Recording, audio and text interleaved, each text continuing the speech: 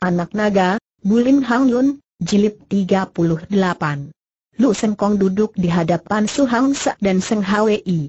Ternyata pemimpin Kepang cabang sudah sampai di markas pusat Kepang. Jadi benar ketua Kun Lun Pei telah binasa di tangan Bantok Lomo tanya Su Hang Sa, ketua Kepang. Benar, Lu Sengkong mengangguk. San Chok San murid Kun Lun Pei itu yang memberitahukan kepada beberapa anggota Kepang cabang, maka aku segera kemari melapor, di mana San Chok San sekarang? Apakah dia kembali ke Kun Lun Pei? Tanya Seng Hwi. Dia melanjutkan perjalanan ke kuil Xiao Lim Siye, jawab Lu. Ah ah ah, ah Seng Hwi menghela nafas panjang.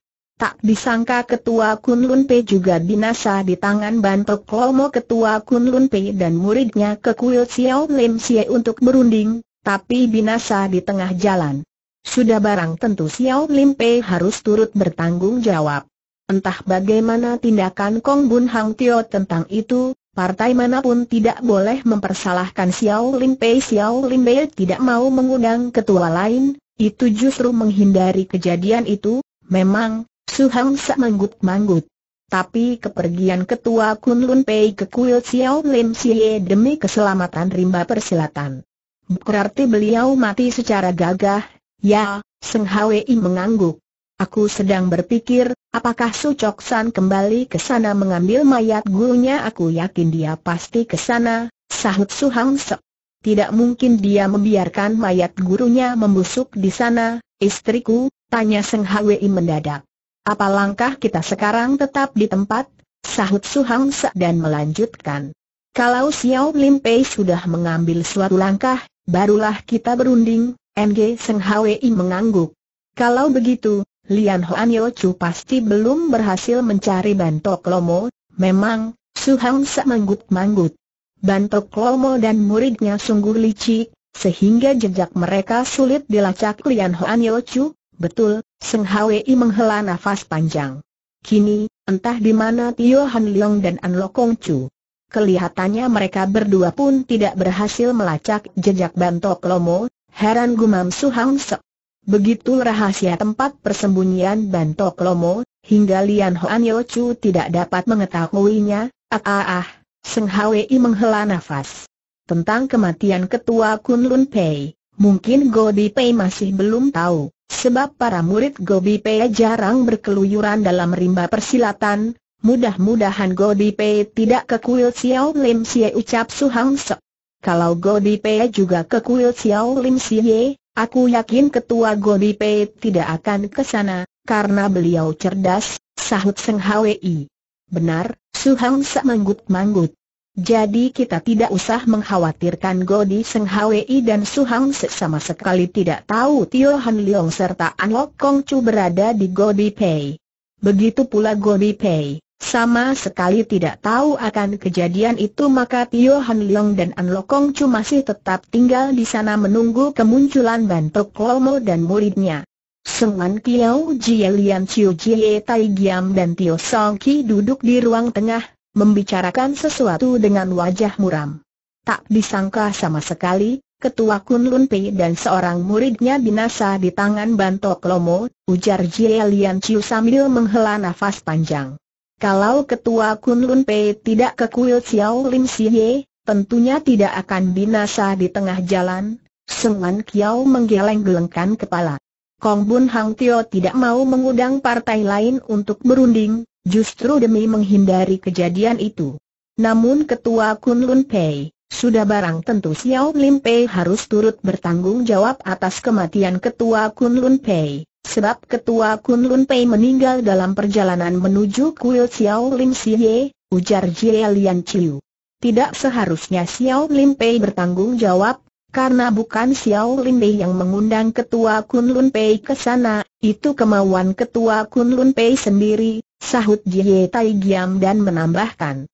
Kalau harus bertanggung jawab tentunya semua partai besar oleh karena itu, aku yakin Kong Bun Hang Tio pasti akan mengambil suatu langkah, entah langkah apa itu Jie Lian Chiu menggeleng-gelengkan kepala. Mungkinkah Kong Bun Hang Tio akan menantang Bantok Lomo mungkin, Sengan Kiao mengangguk. Sebab Kong Bun Hang Tio merasa bertanggung jawab atas kematian ketua Kun Lun Pei, maka mengambil langkah itu, apabila beliau mengambil langkah itu, lalu apa yang harus kita lakukan tanya Tio Song Ki. Kalau beliau sudah mengambil langkah itu, barulah kita berunding, sahut Jie Lian Chiu, kemudian menggeleng-gelengkan kepala. Kini Han Leong dan An Lokong Chu masih berada di Godi Pei. Tidak mungkin Bantok Lomo dan muridnya akan menyerbu Godi Pei. Bantok Lomo memang licik, ujar Song Man Kiao. Dia tidak mau bergerak secara terang-terangan, hanya menggunakan siasat saja, benar, Jialian Chiu mengangguk. Buktinya Lian Hoan Yo Chu tidak dapat melacak jejaknya. Dan juga sungguh mengherankan, Bagaimana Bantok Lomo bisa tahu ketua Kun Lun Pei menuju kuil Xiao Lim Xie menurut aku, sahut Song Man Kiao. Pasti muridnya menyamar sebagai orang biasa untuk mengawasi gerak-gerik para ketua partai besar. Kalau tidak bagaimana mungkin Bantok Lomo tahu ketua Ku Halun Pei sedang melakukan perjalanan ke kuil Xiao Lim Xie. Ya, kan NGJ Lian Chiu mengangguk. Bukankah Tan Beng Song? murid Bantok Lomo itu pernah menyamar untuk membunuh Tio Han Leong dan An Lokong Chu tidak salah, Sengan Kiao manggut-manggut. Maka mereka dapat mengeladobi Met Lian Hoan Yo Chu, urusan semakin gawat, ujar Jie Lian Chiu. Kita harus melapor kepada guru. Kalau tidak, kita pasti dipersalahkan, baik, Sengan Kiao dan lainnya mengangguk. Mari kita ke ruang meditasi untuk melapor kepada guru mereka berempat pergi ke ruang meditasi. Begitu mereka duduk, guru besar Tio Sem Hang pun membuka matanya. Ada sesuatu yang akan kalian laporkan ya, guru, jawab Jie Lian Chiu. Apakah terjadi sesuatu lagi dalam rimba persilatan tanya guru besar Tio Sem Hang sambil menatapnya, ya, guru. Jie Lian Chiu mengangguk. Ketika ketua Kun Lun Pei bersama kedua muridnya pergi ke kuil Xiao Lin Pei, mendadak di tengah jalan muncul Bantok Lomo dan muridnya, Oh Tio Sem Hang mengerutkan kening. Ketua Kun Lun Pei binasa di tangan Bantok Lomo, dan salah seorang muridnya mati di tangan Tan Beng Song. Sedangkan murid yang satu lagi berhasil melarikan diri ke mana murid yang dapat melarikan diri itu ke kuil Xiao Lim Xie, sahut Jie Lian Chiu. Sebelum tiba di kuil Xiao Lim Xie, dia berjumpa anggota Kei Pang, MGMM Tio Sem Hang manggut-manggut. Bantok Lomo sengaja melepaskan murid Kun Lun Pei itu, Oh Jie Lian tercengang. Itu agar murid Kun Lun Pei menyiarkan berita tentang kematian gurunya, ujar Tio Sem Hong. Kalau bukan itu tujuan Bantok Lomo, bagaimana mungkin murid Kun Lun Pei itu dapat melarikan diri Jie Lian Chiu, Sengan Kiao dan lainnya saling memandang, kemudian manggut-manggut.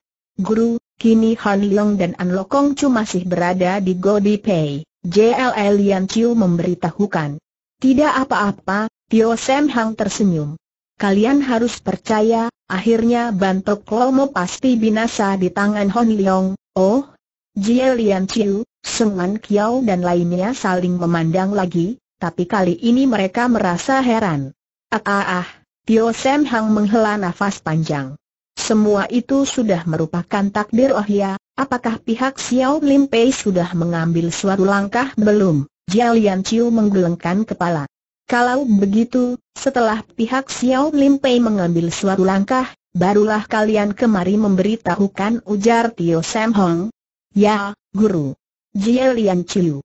Kemudian Song Man Kiao dan lainnya meninggalkan ruang meditasi, untuk kembali ke ruang tengah. Heran gumam Song Man Kiao. Kenapa tadi guru bilang, akhirnya Bantok Lomo pasti binasa di tangan Hon Leong? Betulkah Bantok Lomo akan mati di tangan Hon Leong itu adalah ramalan guru? Mungkin benar, sahut Jie Lian Chiu dan menambahkan. Kini kita tunggu bagaimana langkah pihak Xiao Lim Pei. Setelah itu kita baru berunding dengan guru, baik. Sengan Kiao dan lainnya manggut-manggut. Bab 75 Ketua Xiao Lim Pei menantang Bantok Lomo. Kong Bun Hang Tio dan Kong Ti Seng Cheng duduk di ruang depan. Wajah mereka tampak serius. Ternyata kedua padri tua itu sedang berunding. Sutue, kalau kita tidak mengambil suatu keputusan, tentunya kau merimba persilatan akan mentertawakan kita, ujar Kong Bun Hang Tio dengan kening berkerut-kerut. Kong Ti Seng Cheng menggeleng-gelengkan kepala. Kita harus mengambil keputusan apa setelah kupikirkan beberapa hari, maka aku mengambil suatu keputusan. Namun aku harus berunding dulu denganmu, sahut Kong Bun Hang Tio. Oh Kong Ti Seng Cheng menatapnya. Apa keputusan Su Hengomi Tohut ucap Kong Bun Hang Tio. Aku mengambil keputusan untuk menantang Bantok Lomo, itu, Kong Ti Seng Cheng berpikir sejenak, kemudian berkata, cukup tepat keputusan Su Heng, tapi... Kenapa belum tentu Bantok Lomo akan memunculkan diri untuk menerima tantangan Su Heng, Omi Tohut ucap Kong Bun Hang Tio.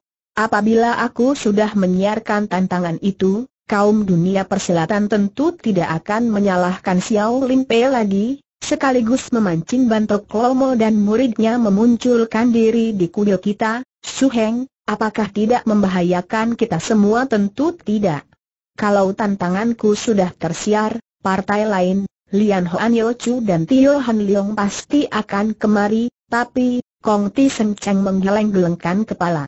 Bantok Lomo begitu licik, bagaimana mungkin dia dan muridnya akan kemari jika mereka tidak kemari, kita akan berunding dengan para ketua partai lain, sahut Kong Bun Hang Tio. Kalau kita tinggal diam, sudah pasti Xiao Lin Bei yang akan dicemooh kaum dunia persilatan, Su Heng, kalau begitu aku mendukung keputusan itu, ujar Kong Ti Seng Cheng. Aku akan menyuruh Goan Liang, Goan Kong dan Goan Sim menyebarkan tantangan Su Heng, Omi Tohut, Berita tentang tantangan Kong Bun Hang Tio sudah tersebar luas, namun Godi Pei sama sekali masih belum menerima berita tersebut, sebab para murid partai itu jarang berkeluyuran dalam rimba persilatan, maka tidak tahu akan berita tersebut. Di markas Kei Pang, tampak Seng Hwi dan Su Hang sedang berunding dengan serius sekali. Kong Bun Hang Tio sudah mengeluarkan tantangan terhadap Bantok Lomo, lalu apa langkah kita tanya Seng Hwi? Bagaimana menurutmu, suamiku Su Hang sebalik bertanya. Kau tidak boleh diam saja, sahut Seng Hwi. Kita harus ke kuil Xiao Lim Pei untuk memberi bantuan, juga mengajak Im Xie Popo lebih baik jangan, ujar Seng Hwi. Im Xie Popo harus berada di sini menjaga anak kita, jadi kita bisa berlega hati, NGMM Suhang manggut-manggut. Aku melupakan hal itu, kini ketua Xiao Lim Pei sudah menantang Bantok Lomo, namun belum tentu Bantok Lomo akan muncul menerima tantangan itu lagi pula kita pun harus berhati-hati dalam perjalanan menuju kuil Xiao Lim Xie, ujar Suhang Se. Kita memang harus berhati-hati, Seng Hwi kelihatan berpikir, kemudian ujarnya serius, Ketua Kun Lun Pei binasa di tengah jalan, karena itu dalam perjalanan ke kuil Xiao Lim Xie, kita harus menyamar, betul Su Hang Se mengangguk. Lebih baik kita menyamar, agar Bantok Lomo dan muridnya tidak tahu keberangkatan kita, istriku, bagaimana menurutmu, kalau kita mengutus seseorang pergi ke Gunung Butong untuk apa memberitahukan kepada Ketua Butong Pei, bahwa kita akan berangkat ke kuil Xiao Lim Xie, itu, Su Hang Se berpikir, sejenak kemudian barulah mengangguk. Itu ada baiknya juga. Kapan engkau akan mengutus seseorang ke Gunung Butong esok pagi, sahut Seng Hwi. Setelah itu, barulah kita berangkat ke kuil Xiao Lim Xie, baik, Su Hang Se manggut-manggut, sekarang mari kita ke halaman belakang melihat anak kita ajak Seng Hwi dan menambahkan. Kita harus berpesan padanya agar tidak ke mana-mana di saat kita berangkat ke kuil Xiao Lim Xie. Su Hang Sa mengangguk kemudian mereka berdua menuju halaman belakang Sengkiat Hiong sedang berlatih ilmu pukulan tangan kosong, dan Im Xie Popo bertepuk-tepuk tangan menyaksikannya. Ketika melihat Seng Hwi dan Su Hang Sa, Sengkiat Hiong segera berhenti berlatih. Ayah, ibu panggilnya. Nak Seng Hwi tersenyum lembut. Beberapa hari lagi ayah dan ibumu akan pergi ke kuil Xiao Lim Xie, engkau tidak boleh ke mana-mana ya ya, ayah, Sengkiat Hiong mengangguk. Kenapa ayah dan ibu pergi ke kuil Xiao Lim Xie untuk membantu ketua Xiao Lim Pei? Mungkin Bantok Lomo dan muridnya akan menyerang ke kuil itu Seng Hwi memberitahukan. Aku tidak boleh ikut tanya Sengkiat Hiong. Tidak boleh, nak, sahut Suhang Se. Engkau harus tetap di markas, tidak boleh ke mana-mana, Popo ikut tidak. Popo harus menjagamu di sini seandainya Bantok Lomo dan muridnya muncul, engkau harus segera bersembunyi di ruang bawah tanah pesan Suhang Se. Ingat ya ya, ibu, Sengkiat Hiong mengangguk. Im Sie Popo panggil Suhang Se. Ya sahut Im Sie Popo lalu mendekatinya sambil tertawa-tawa. Aku mau diberi permen kami akan pergi, engkau harus menjaga Kiat Hiong baik-baik, pesan Suhang Sak sambil menatapnya. Kalau ada orang jahat kemari, engkau harus melindungi Kiat Hiong tentu, sahut Im Sie Popo sambil tertawa. Kiat Hiong adalah cucuku, aku tentu melindunginya. Bagus, Suhang Sak manggut-manggut. Terima kasih, Popo, Sie Popo tertawa lagi, kemudian mengajak Seng Kiat Hiong berlatih Seng Hwi dan Su Hang Sa saling memandang, lalu manggut-manggut sambil tersenyum-senyum. Aku tidak menyangka, ujar Su Hang Sa. Im Popo begitu menyayangi Kiat Hiong. Kini kepandaian Kiat Hiong pun bertambah maju, Seng Hwi tersenyum. Itu memang di luar sangkaan, namun justru menguntungkan Kiat Hiong kelak dia pasti berkepandaian tinggi, sebab dia sudah memiliki dasar-dasar ilmu pukulan Ching Hui Egang, ujarnya. MGMM Suhang semanggut-manggut. Suamiku, kapan engkau akan mengutus seseorang ke Gunung Butong sekarang? Sahut Seng Hui dan menambahkan tiga hari kemudian, barulah kita berangkat ke kuil Xiao Lim Siye, sementara itu Jie Lian Chiu, Sengan Kiao Jie Tai Giam dan Tio Siong Ki juga sedang membicarakan tentang ketua Xiao Lim Xie menantang Bantok Lomo. Kini Kong Bun Hang Tio sudah menantang Bantok Lomo, lalu kita harus berbuat apa tanya Jie Lian Chiu. Sebelumnya kita sudah menduga akan hal itu, namun belum tentu Bantok Lomo dan muridnya akan menerima tantangan itu sebab mereka berdua amat licik dan banyak akal busuknya, maka kemungkinan besar akan sia-sia Kong Bun Hang Tio menantang mereka, sahut Song Man Kiao. Setelah Kong Bun Hang Tio mengeluarkan tantangan itu, kaum rimba persilatan tidak akan mencela Xiao Lim Pei lagi, ujar Jie Lian Chiu. Bahkan mungkin juga Lian Hoan Yo Chu akan ke sana, benar, Song Man Kiao manggut-manggut. Tapi kalau Han Leong dan An Lokong Chu mendengar berita itu, Mungkinkah mereka akan ke kuil Xiao Lim Xie sulit dipastikan. Jie Lian Chiu menggeleng-gelengkan kepala. Aku yakin Godi Pei masih belum tahu tentang kematian ketua Kun Lun Pei yang Jie Tai Gia mengangguk. Oh ya, bukankah guru telah berpesan, apabila Xiao Lim Pei sudah mengambil suatu langkah, maka kita harus melapor perlukah kita melapor tanya Jie Lian Chiu. Tentu, sahut Song Man Kiao. Kalau tidak guru pasti menyalahkan kita. Nah, mari kita ke ruang meditasi. Mereka pergi ke ruang meditasi untuk menemui guru besar Tio Sam Hong. Begitu mereka memasuki ruang itu, Tio Sam Hong membuka matanya. Guru, mau melaporkan sesuatu tanya Tio Sam Hiong sambil menatap mereka. Ya, Jalian Chiu mengangguk. Kong Bun Hang Tio sudah menantang Bantok Lomo, Memang harus begitu sebab kalau tidak Xiao Lim Bei pasti dicela kaum rimba persilatan, ujar Tio Sam Hong. Guru, kami mohon petunjuk ujar Song Man Kiao. Kong Bun Hang Tio sudah mengeluarkan tantangan itu, tentunya Butong Pei harus ke sana membantu, sahut Tio Sam Hong. Tapi bagaimana kalau Bantok Lomo kemari di saat kami berangkat ke kuil Xiao Lim Xie tanya Jie Lian Chiu. Hahaha Tio Sam Hang tertawa. Walau guru sudah tua sekali, tapi masih dapat melawan Bantok Lomo guru, kalian boleh segera berangkat ke kuil Xiao Lim Xie, tegas Tio Sam Hong. Ini adalah perintahku, ya. Jie Lian Chiu dan lainnya mengangguk lalu meninggalkan ruang meditasi, kembali ke ruang depan. Bagaimana menurutmu tanya Jie Lian Chiu kepada Song Man Kiao. Itu adalah perintah dari guru, maka kita harus mematuhinya, sahut Song Man Kiao dan melanjutkan. Namun kita tidak boleh pergi semua, lebih baik Tai Giam dan Song Ki tetap di sini, benar, Jie Tai Giam manggut-manggut. Apabila Bantok Lomo dan muridnya kemari, kami berdua masih dapat membantu guru, dan juga, tambah Tio Siong Ki. Kalau Han Leong dan An Lokong Chu kemari, kami akan menyuruh mereka agar segera menyusul ke kuil Xiao Lim Xie, ya Jie Lian Chiu mengangguk.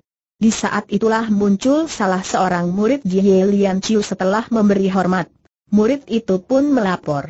Guru, seorang pengemis tua anggota Kei Pang ingin bertemu, persilakan dia masuk sahut Jie Lian Chiu.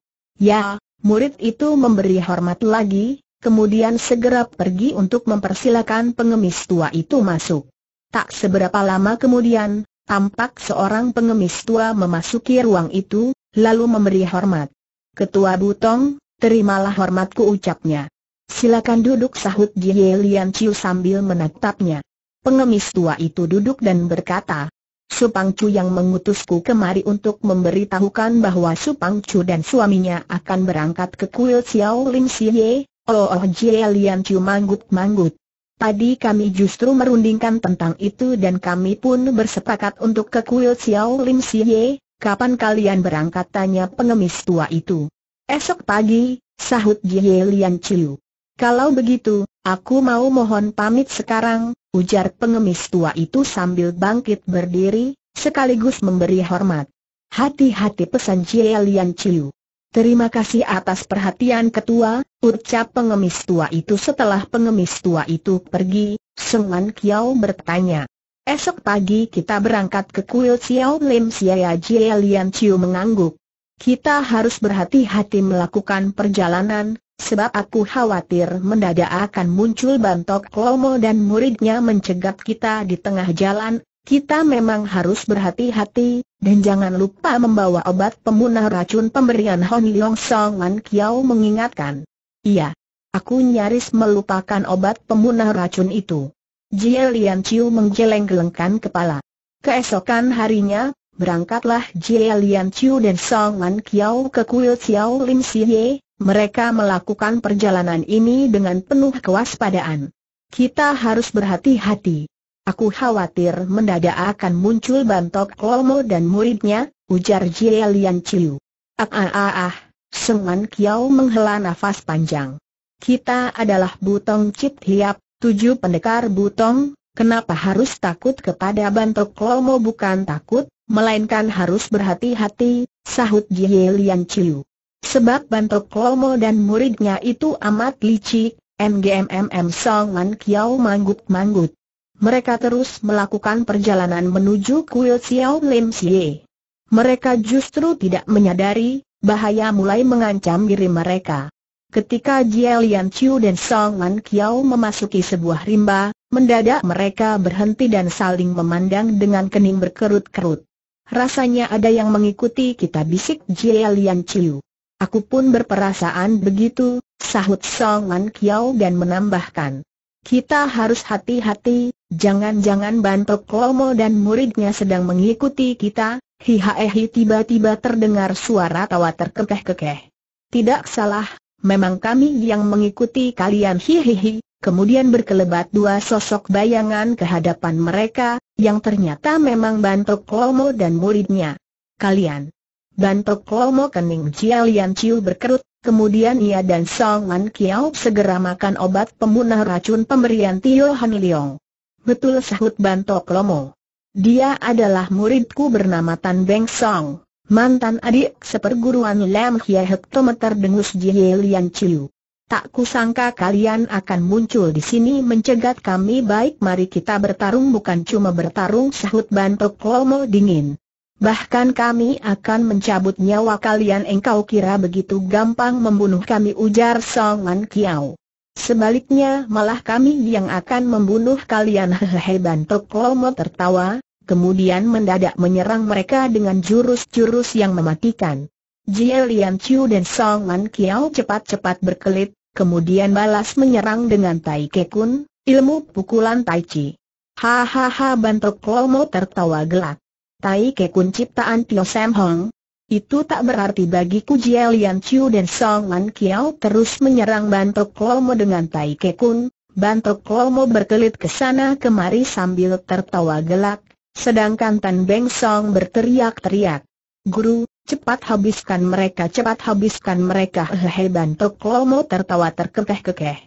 Kepandaian kalian berdua cukup tinggi, tapi sekarang rasakan Bantok Ciang, ilmu pukulan selaksa racun, ku Bantok Lomo mulai menyerang mereka dengan ilmu pukulan tersebut, dan itu sungguh mengejutkan Jie Lian Chiu dan Song Man Kiao, sebab sepasang telapak tangan Bantok Lomo menyiarkan bau amis yang amat menusuk hidung. Di saat itu, tiba-tiba muncul sebuah tandu. Bantok Lomo yang bermata tajam sudah melihat tandu itu. Maka ia tersenyum licik sambil melesat pergi dan berseru. Muridku, mari kita pergi Tan Beng Song segera melesat pergi mengikuti Bantok Lomo pada saat bersamaan, melesat keluar sosok bayangan dari dalam tandu, yang ternyata Lian Hoan Chu. Tapi tertambat, karena Bantok Lomo dan muridnya sudah tidak kelihatan lagi. Lian Hoan Chu melayang turun di hadapan Jie Lian Chu dan Song Man Kiao seketika itu juga Jie Lian Chu dan Song Man Kiao memberi hormat. Apakah kami berhadapan dengan Lian Hoan Chu? Tanya Jie Lian Chiu. Hai hai hai Lian Hoan Chu tertawa cekikikan. Betul. Kalian berdua pasti Jie Lian Chiu dan Song Man Kiao Chiam Poe. Betul, Jie Lian Chiu manggut-manggut. Lian Hoan Chu, kami mengucapkan terima kasih kepadamu. Tiam Poe Lian Hoan Chu tersenyum.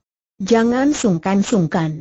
Tio Han Leong adalah kakak angkatku, maka aku harus membantu Ciam Pue berdua, Han Leong sudah menceritakan tentang dirimu, tentunya Pue berdua tidak begitu percaya, bukan Lian Hoan Chu tertawa kecil.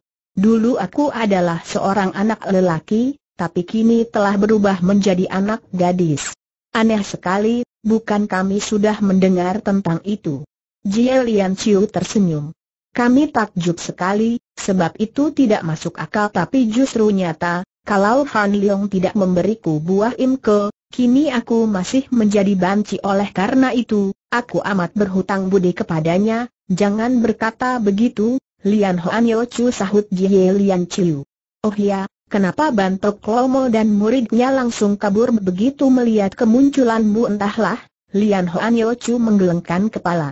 Aku memang sedang memburunya, tapi dia dan muridnya kabur lagi. Aku harus pergi mengejar mereka, percuma, Sengan Kiau menggelengkan kepala.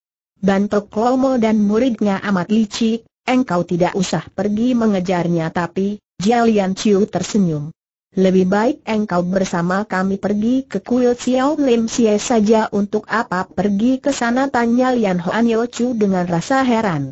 Ketua Xiao Lim Pei menantang Bantok Lomo, maka kami ke sana untuk membantu Xiao Lim Pei Jia Lian Chiu memberitahukan. Oh Lian Hoan Yo Chu mengerutkan kening. Bagaimana mungkin Bantok Klomo dan muridnya akan muncul di sana? Kini mereka telah kabur, mereka pasti bersembunyi lagi, kita berunding bersama di kuil Xiao Lim Xie, ujar Song Man Kiao dan menambahkan. Ketua Kei Pang pun pergi ke sana, oh ya di mana Hon Leong dan An Lokeng Chu tanya Lian Hoan Yo Chu mendadak. Apakah mereka berada di Gunung Butong? Mereka berada di Gunung Godi. Jie Lian Chiu memberitahukan. Guru kami yang menyuruh mereka ke sana, Lo Lian Hoan Yo Chu tercengang. Memangnya kenapa guru khawatir Bantok Lomo dan muridnya akan menyerang Gobi Pei, maka menyuruh Hon Leong dan An Lokeng Chu ke sana Jie Lian Chiu memberitahukan. Tidak taunya Bantok Lomo dan muridnya malah muncul di sini sia-sia Han Leong dan An Lokong Chu menunggu di sana. Oh, oh Lian Hoan Yo Chu manggut-manggut. Kapan mereka akan kembali ke Gunung Butong entahlah, Jia Lian Chiu menggeleng-gelengkan kepala. Baiklah, Lian Hoan Yo Chu tersenyum. Mari kita berangkat ke kuil Xiao Lim Xie Lian Hoan Yo Chu melesat ke dalam tandunya. Tak lama tandu itu pun melayang-layang mengikuti Jie Lian Chiu dan Song Man Kiao menuju kuil Xiao Lim Xie. Mereka terus melakukan perjalanan ke kuil Xiao Lim Xie. Ketika sampai di jalanan gunung, tampak dua orang tua sedang duduk beristirahat di bawah sebuah pohon. Begitu melihat mereka, kedua orang tua itu langsung bangkit berdiri seraya berseru. Ketua Butong, Seng Tai Hiap dan Lian Hoan Yo Chu, Lian Chiu dan Song Man Kiao terbengong-bengong ketika dipanggil. Mereka segera berhenti dan begitu pula tandu itu. Ketua Butong salah seorang tua memberitahukan. Kami adalah Su Hang Sa dan Seng Hwi, apa Jie Lian Chiu terbelalak. Kalian, kami menyamar, kedua orang tua itu membersihkan muka masing-masing. Ternyata mereka memang Su Hang Se ketua Kei Pang dan Seng Hwi. Kalian, Sengan Kiao tertawa gelak. Hahaha tak kusangka kalian pandai menyamar pula apa boleh buat, sahut Seng Hwi. Kami menghindari Bantok Lomo dan muridnya, di saat itulah Lian Hoan Yochu melesat keluar dari dalam tandunya ke hadapan mereka. Hai hai hai Lian Hoan Yochu tertawa cekikikan. Kalian berdua pandai menyamar juga ya Lian Hoan Yochu Suhang Sa dan Seng Hwi segera memberi hormat. Kami menyamar karena terpaksa, kalau tidak, karena kami tidak menyamar, maka diserang Ban, Tok Lomo, ujar Jie Lian Chiu memberitahukan. Apa bukan main terkejutnya So Heng Sa dan Seng Hwi? Ciam Pue berdua diserang Bantok Lomoya, Jalian Chu manggut-manggut. Kalau Lian Hoan Chu tidak muncul, entah bagaimana nasib kami, Bantok Lomo dan muridnya langsung kabur begitu melihat kemunculan Lian Hoan Chu tanya Su Hang Se. Ya, Jalian Chu mengangguk. Heran gumam Su Hang Se. Kenapa Bantok Lomo dan muridnya selalu kabur begitu melihat Lian Hoan Chu kami pun merasa heran, sahut Jie Lian Chiu sambil menggelengkan kepala Su Hang Sa menatap Lian Hoan Chu lama sekali baru bertanya dengan penuh rasa heran. Lian Hoan Chu, tahukah engkau apa sebabnya hai hai Lian Hoan Chu tertawa. Aku sendiri pun bingung, kenapa Bantok Lomo dan muridnya langsung kabur begitu melihatku Oh Su Hang Sa terbelalak. Engkau sendiri pun tidak tahu apa sebabnya ya, Lian Hoan Chu mengangguk. Dua kali dia melihat kemunculanku, dua kali pula dia dan muridnya langsung kabur. Itu sungguh mengherankan.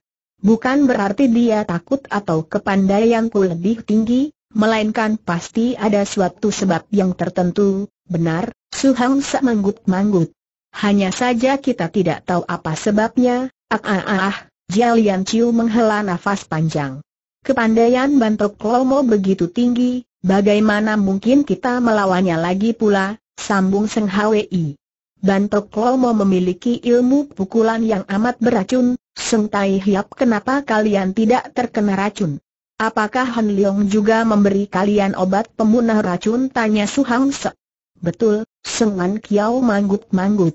Kalau tidak, Mungkin kami sudah binasa terkena ilmu pukulan beracun itu, tidak salah, selagi Lian Chiu. Oh ya, bagaimana kalau kita melanjutkan perjalanan ke kuil Xiao Worm Siai baik, Seng Hwi manggut-manggut. Mari kita berangkat Bantok Klomo dan Tan Beng Song duduk berhadapan di dalam kuil tua. Kelihatannya mereka sedang memikirkan sesuatu. Tan Beng Song memang tidak habis pikir, kenapa gurunya dua kali kabur ketika melihat Lian Hoan Chu, dan itu sungguh membingungkannya. Guru Tan Beng Song memandangnya.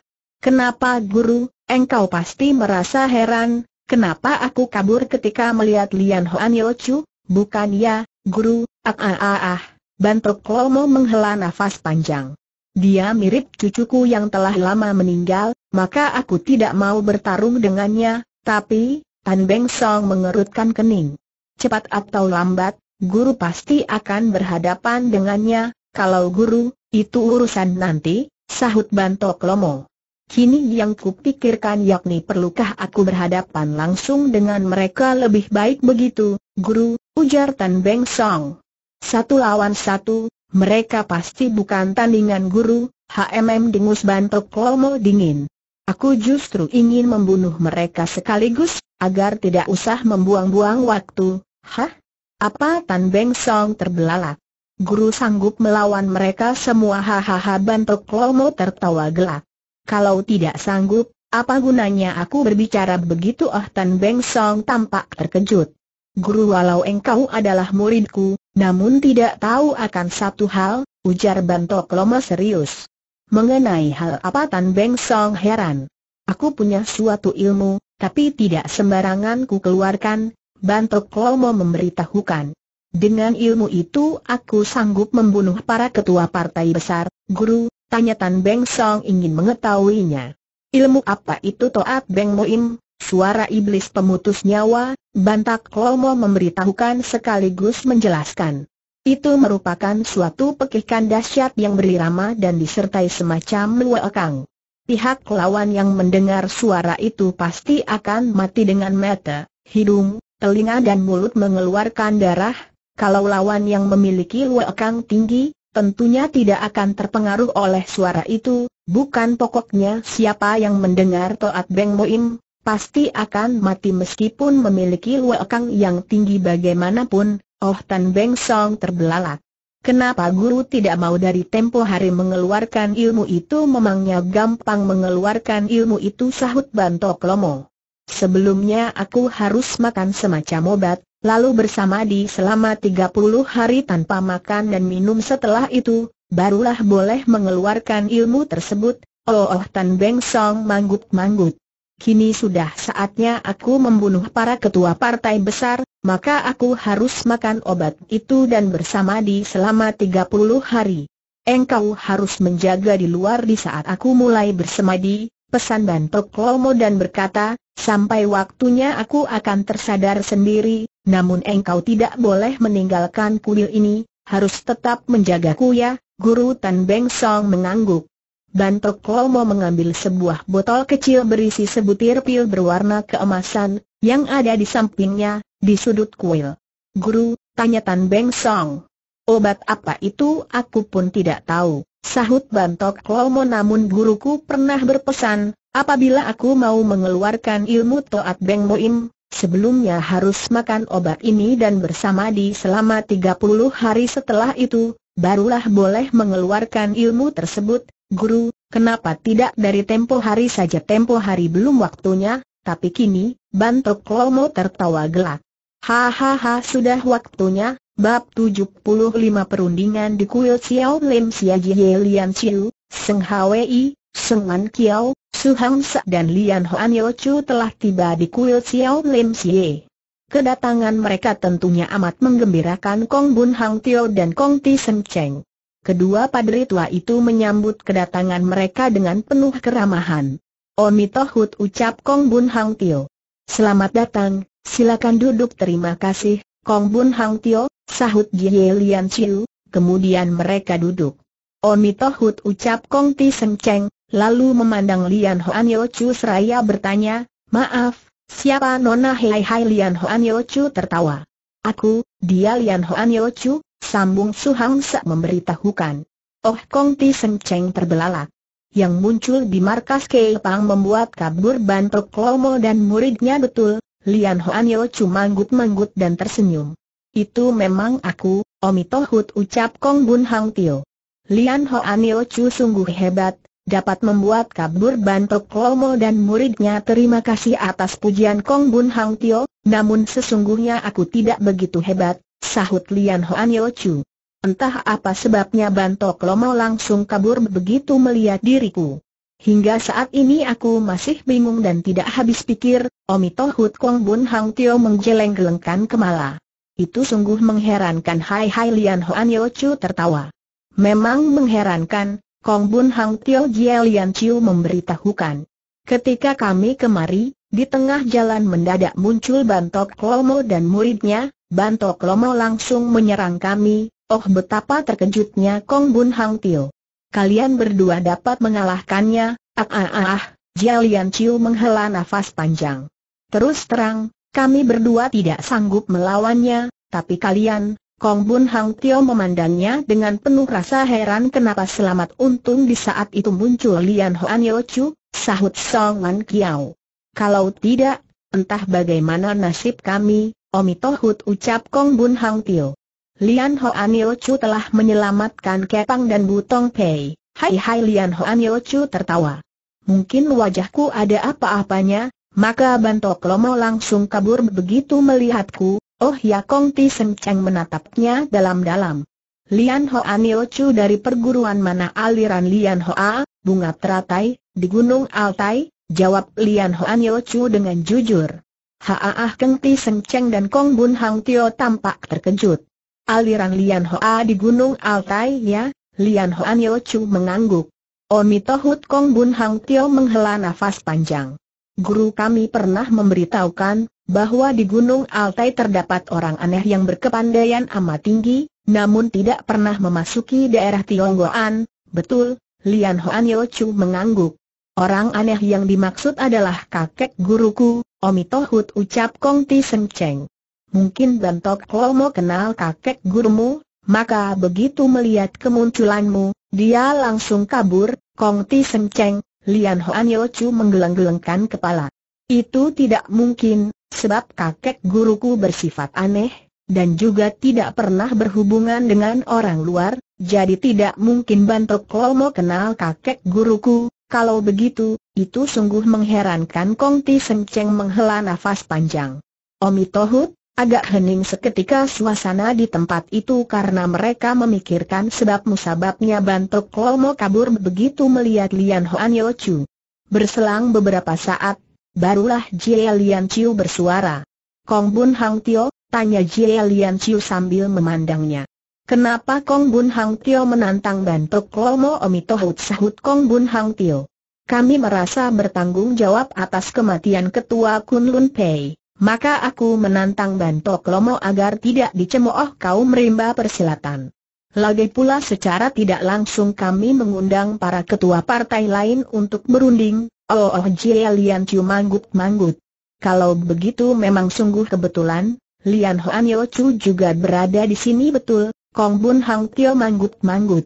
Kita harus membasmi Bantok Lomo dan muridnya, agar rimba persilatan menjadi aman kembali, tapi, Su Hang Sa menggeleng-gelengkan kepala. Apakah kita sanggup melawannya begini, ujar Lian Hoan Yo Chu. Biar aku yang melawannya lebih dulu. Apabila aku mati di tangannya, barulah kalian mengeroyoknya, Omi Tohut ucap Kong Bun Hang Tio. Bagaimana mungkin kami membiarkanmu mati? Alangkah baiknya kita bergabung menyerangnya, tapi, Jialian Chiu menggeleng-gelengkan kepala.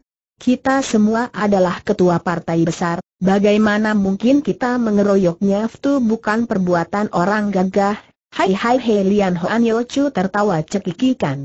Terhadap Bantok Lomo dan muridnya, kita tidak perlu membicarakan peraturan. Pokoknya kita harus membasminya, itu saja, tapi akan merusak nama baik kita semua, ujar Jie Lian Chiu sambil mengerutkan kening. Kalau begitu, Lian Hoan Yo Chu menghela nafas panjang. Kita harus berbuat apa Omi Tohut sahut Kong Bun Hang Tio, kemudian memandang Lian Hoan Yo Chu seraya bertanya. Bagaimana menurutmu, Lian Hoan Yo Chu begini saja, jawab Lian Hoan Yo Chu, yang sudah mengambil keputusan. Kalau Bantok Lomo kemari biar aku yang melawannya lebih dulu. Kalau aku terluka atau mati, barulah kalian melawannya, Lian Hoan Yo Cukong Bun Hang Tio menghela nafas panjang. Itu, oh ya tanya Kong Ti Seng Cheng sambil memandang Jie Lian Chiu. Kenapa Han Leong tidak bersama kalian, dia ke mana guru kami menyuruhnya ke Gunung Gobi, karena khawatir Bantok Lomo dan muridnya akan menyerang ke sana, Jawab Jie Lian Chiu memberitahukan. Sudah hampir sepuluh hari Tio Han Leong dan An Lokong Chu berada di sana, oh oh Kong Ti Seng Cheng manggut-manggut. Kalau dia berada di sini, mungkin, dia pasti dapat mengalahkan Bantok Lomo, selalian Hoan Yo Chu. Kepandaiannya tinggi sekali, engkau kenal Tio Han Leong tanya Kong Ti Seng Cheng. Kenal, Lian Hoan Yo Chu mengangguk. Dia tuan penolongku, kalau tidak ada dia aku, kenapa tanya Kong Ti Seng Cheng? Ketika Su Hengku pergi ke Tionggoan menyusul putrinya, aku, aku mencuri sebuah kitab pusaka, ujar Lian Hoan Yo Chu sambil menghela nafas panjang. Yaitu Lian Hoa Chin Keng, kitab pusaka bunga teratai, Lian Hoa Chin Keng Kong Ti Seng Cheng terbelalak. Kitab pusaka apa itu? Apakah kita pelajaran agama Buddha kita pelajaran ilmu silat yang amat tinggi? Namun aku sama sekali tidak mengetahui satu hal. Itu yang membuat diriku celaka, engkau mempelajari kitab itu tanya Kong Ti Seng Cheng. Ya, Lian Hoan Yo Chu mengangguk. Justru karena aku mempelajari kitab itu, maka tubuhku berubah, berubah Kong Ti Seng Cheng dan Kong Bun Hang Tio saling memandang. Berubah bagaimana berubah menjadi, banci, sahut Lian Hoan Yo Chu sambil menundukkan kepala. Sebetulnya aku adalah anak lelaki, tapi akhirnya menjadi benci karena mempelajari ilmu silat yang tercantum di dalam kitab Lian Hoa Ching Keng, Ha Keng Ti Seng Cheng dan Keng Bun Hang Tio terbelalak. Omi Tohut, setelah itu, aku bertemu Tio Han Leong, lanjut Lian Hoa Nio Chu. Ternyata dia sedang mencariku. Dia pernah pergi ke Gunung Altai untuk menemui Kamek Tian, kakak seperguruanku. Dia, dia memberikanku buah imko. Aku makan buah itu dan dua hari kemudian, aku berubah menjadi anak gadis, Omi Tohut ucap Keng Bun Hang Tio. Itu sungguh ajaib sekali anak lelaki berubah menjadi anak gadis aneh tapi nyata tapi kalau Tio Han Leong tidak memberikanku buah imke, saat ini aku tetap banci oleh karena itu, aku sungguh berhutang budi kepadanya, Omi Tohut Keng Bun Hang Tio manggut-manggut. Kami pun pernah mendengar bahwa engkau selalu membasmi para penjahat. Itu karena apa? Karena kedua orang tuaku dan kakak-kakakku dibunuh oleh para penjahat, maka aku harus membasmi mereka, jawab Lian Hoan Yochu. Oh oh Keng Bun Hang Tio manggut-manggut lagi, kemudian bertanya mendadak sambil memandangnya. Lian Hoan Yochu, bagaimana kepandaianmu dibandingkan dengan Bantok Lomo kami tidak pernah bertarung, maka aku kurang jelas tentang itu, jawab Lian Hoan Yochu dengan jujur. Tapi dia memiliki ilmu pukulan yang amat beracun, sedangkan aku memiliki ilmu pukulan yang amat dingin. Mungkin tingkat kepandaianku masih di bawahnya, namun aku masih sanggup bertahan, MGMM Kong Bun Hang Tio mengerutkan kening. Kalau begitu, engkau berkepandaian paling tinggi di sini. Baiklah, engkau boleh menghadapi Bantok Lomo duluan, sedangkan kami Suheng, ujar Kong Ti Seng Cheng. Bukankah itu amat membahayakan diri Lian Hoan Yochu tidak apa-apa, sahut Lian Hoan Yochu cepat. Aku memang ingin menjajal kepandaian Bantok Lomo. Mudah-mudahan aku dapat membasminya Omi Tohut ucap Kong Bun Hang Tio. Biar bagaimanapun engkau harus berhati-hati menghadapinya. Ya, Lian Hoan Yo Chu mengangguk. Ah ah ah, ah Jia Lian Chiu menghela nafas. Mudah-mudahan Hon Leong dan An Lokong Chu kemari sebelum Bantok Lomo muncul sudah belasan hari Tio Hon Leong dan An Lokong Chu tinggal di Gunung Godi. Dalam waktu itu, Bantok Lomo dan muridnya sama sekali tidak pernah memunculkan diri aku yakin Bantok Lomo dan muridnya tidak akan kemari, ujar ketua Godi Pei. Kalaupun dia kemari, pasti akan celaka di dalam perangkap, kalau begitu, ujar Tio Han Leong sambil memandang An Lok Keng Chu. Kami akan pergi esok pagi, baiklah, Ketua Go Pei tersenyum lembut. Secara tidak langsung kami telah menyita waktu kalian, sehingga kalian tidak bisa pergi ke mana-mana, itu tidak apa-apa, ujar Tio Han Leong. Sebaliknya justru kami yang telah merepotkan, tidak merepotkan, Ketua Godipe tersenyum lagi. Oh ya, esok pagi kalian akan pergi ke mana mungkin langsung pergi ke Butong Pei, Tio Hon Leong memberitahukan. Sebelum Bantok Lomo dan muridnya dibasmi, kami belum mau ke Pulau Hang Huang Tu. Walau aku sudah rindu sekali kepada kedua orang tuaku, MGMM Ketua Godipe manggut-manggut. Bantok Lomo dan muridnya begitu licik, maka kalian harus menggunakan suatu siasat. Siasat apa pancing dia keluar aku justru tidak tahu cara memancing dia keluar, Tio Hon Leong menggeleng-gelengkan kepala. Bantok Lomo dan muridnya begitu licik, tentu tidak akan terpancing oleh siasat apa pun. Namun aku yakin dia pasti keluar, tidak mungkin bersembunyi terus, Han Leong, ketua Go Pei memandangnya. Jadi engkau sudah mengambil keputusan untuk pergi esok pagi ya? Tio Hon Leong mengangguk.